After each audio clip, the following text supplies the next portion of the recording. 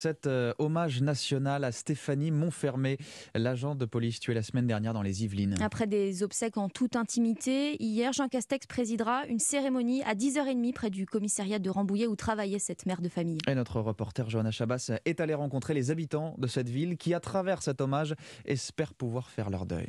À 100 mètres du commissariat, l'estrade est installée devant le monument aux morts, sur une grande place pour accueillir les membres du gouvernement et les nombreux habitants qui veulent suivre cet hommage. Danielle est sage-femme. Elle a fermé son cabinet pour la matinée afin d'assister à la cérémonie. Je me dois de rendre hommage. J'aurais du mal à travailler en sachant que ça fait une semaine qu'elle est décédée. C'est la pensée qui compte, ne pas oublier surtout. Cette femme euh, qui a consacré sa vie euh, à la France, qui laisse des enfants euh, qui n'ont pas mérité cela. La cérémonie doit durer une heure avec un discours du Premier ministre, une minute de silence, une Marseillaise et la remise de la Légion d'honneur à titre posthume.